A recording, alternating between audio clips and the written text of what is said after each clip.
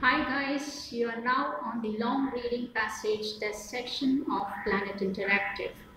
Well, uh, the long reading passage questions form the largest chunk of questions on your GRE verbal section.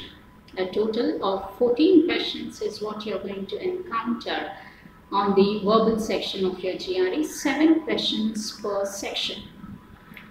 Even this type of questions, just like the critical reasoning uh, passage questions, they are the safest bet of questions because no difficult vocabulary is needed.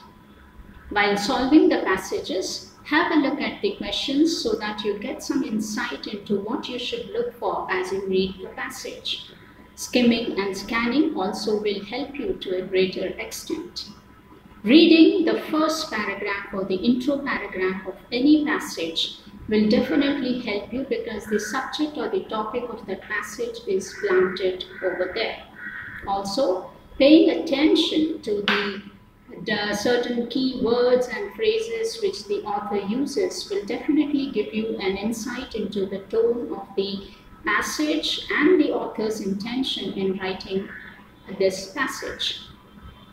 So, uh, keeping these strategies will definitely go a long way, but above all, the most important thing while solving the long reading passages is time management. Time is the scantiest thing on your GRE.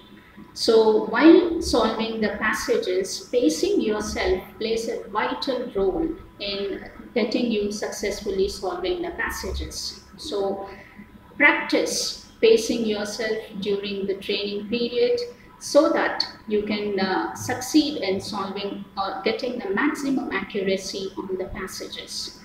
Read always uh, try to read the question stem properly, read all the op answer options properly and the last most important strategy is applying POE, the process of elimination.